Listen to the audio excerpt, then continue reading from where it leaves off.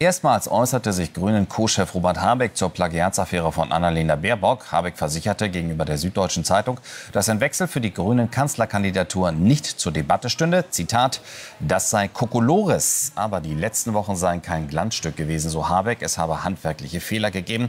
Und damit ging er auf Distanz zum Wahlkampfteam rund um Baerbock. Und nun gehe es aber darum, aus dem Vertrauensvorschuss, den die Kanzlerkandidatin von der eigenen Partei bekommen hat, das Beste zu machen. Baerbock steht wegen Textpassagen ihres Buches, ungenauen Angaben in ihrem Lebenslauf und verspäteten Meldungen zu Sonderzahlungen in der Kritik.